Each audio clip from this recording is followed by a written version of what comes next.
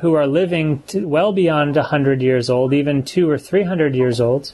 Um, we have stories of that also occurring in South America.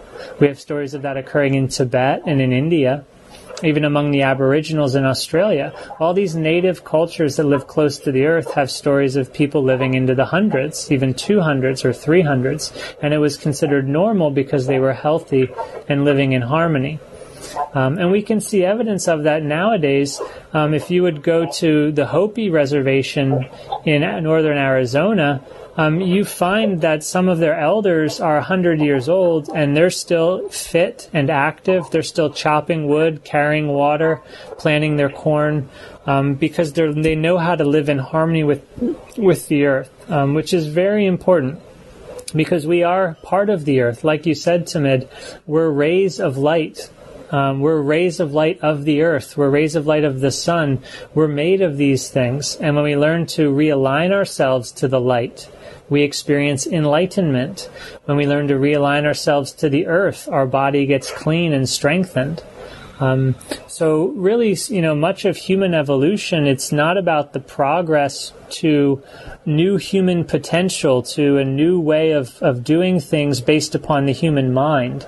It's really about a return to the way the human was designed to live.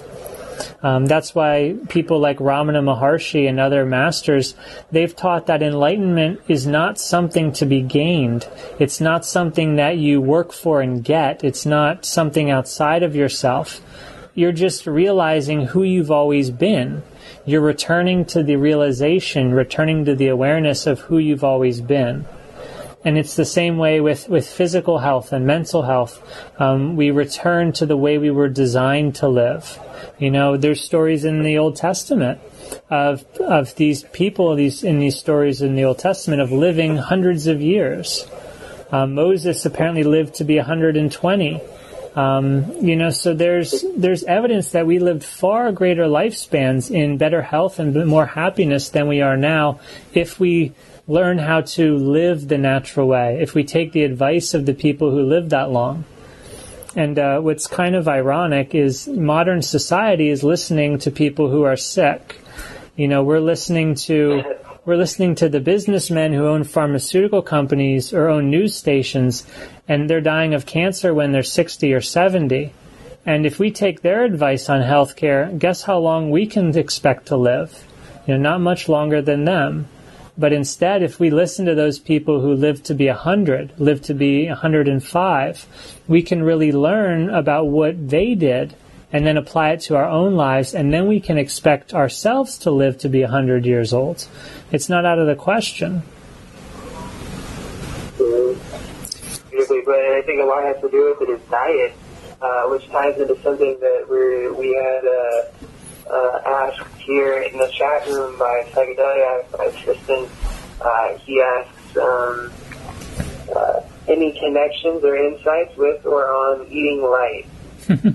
um, does he mean eating light itself or eating a light diet? yeah, that's, that's, that's a good uh, question. Tristan, did you mean actually consuming pranic energy, or did you mean eating light like eating uh, eating greens and whatnot? Uh, let's see, you, you respond in a second here. Okay. Uh, I have an idea that you, I, I think that he was talking about uh, actually uh, uh, eating light itself. Yeah, um, well, it's interesting because um, you know language is, is is very peculiar and has a lot of uh, interesting quirks to it.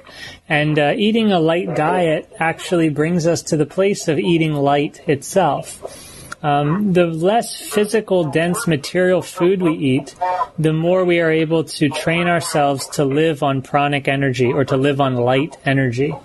Um, in addition, the the lighter foods, foods that are considered to be lighter, um, such as um, fruits, vegetables, um, these food items have more light in them, have more prana in them. So as we choose to lighten up our diet by eating more foods that are alive, more fruits, more vegetables, um, particularly the vegetables, um, we are returning to a diet of light. Um, we must remember that every food, everything we take into our body becomes us in some way. Um, the energy we take in, the energy we, of the people we associate with, and more importantly, the food that we eat um, builds our body and affects our experience of ourselves and our experience of our body. So when we eat vegetables that have a high amount of chlorophyll, we're taking into our body um, modules of light, packets of light, because the, the plants truly live on light. Um, so that's why you know you'll find in spiritual practices that a vegetarian diet was always taught, um, because the vegetables themselves are living on light, and spirituality is about returning to being a light being here manifest in this world. So we can um, we can put we can just connect the dots and we can see oh you know eating more green vegetables increases our health. Um, science has shown that it cleanses the blood. Um, and it also energizes our bodies with light, with stored and processed light. Um, and you will find that the healthier you eat, the less food that you do need to eat. Um, so if anybody is suffering from weight um, or unha- unhappiness because of health problems, the best thing to do is to remove all the junk food, remove all the food that does not have a high amount of nutrients and vitamins based upon um, the size portion of the food. Um, you look at grains, you look at um, meat, you look at uh, almost actually every processed food on the grocery store shelves. They're devoid of minerals and vitamins. That's what powers your body and uh, and instead you're eating all this filler food, and so um, that explains why we put on weight. That explains why um, we have enormous bowel movements because we're eating stuff that our body is not using, that our body can't process. So when we cut that out of our diet, we start to eat more intelligently and eat food that our body needs. Um, we get healthier, we get happier, we produce less waste, um, and we become more streamlined and more energetic. We become more like light. Yeah, absolutely. That's incredible. Mm-hmm. Oh man. Yeah, it's. Uh, so Tristan, Tristan also added here, uh, uh, also eating lightly. Uh, so could you maybe talk a little bit about some recommendations for uh, uh, for eating lightly? Um, sure. Um, the best website that I found that'll explain and answer almost every question that a person can have is drbass.com, uh, D-R-B-A-S-S.com.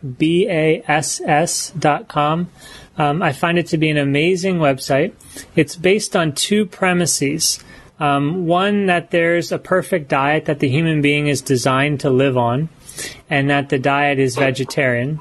And it's also based on a second premise that um, we should eat only as much food as the body needs.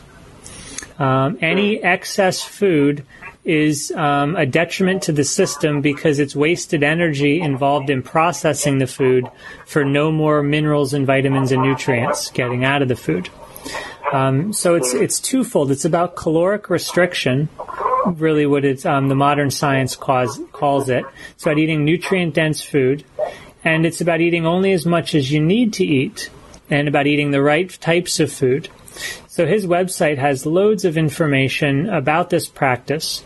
Um, I consider it the best source of dietary advice anywhere in the world right now. Um, and I've studied a lot. I've tried fruitarianism. I've tried juice fasts. I've tried um, macrobiotic diets. I've tried Ayurvedic diets, Chinese medicine diets. I've tried a whole bunch of stuff. And uh, I keep coming back to the Dr. Bass research and the diet that he recommends. Um, the way I've adapted it is um, I've combined the other knowledge I've learned from my studies in Chinese medicine and Ayurveda to understand the energy of food. Um, if you look at the, the menu that Dr. Bass recommends, um, he still has not yet limited the, the types of food that are being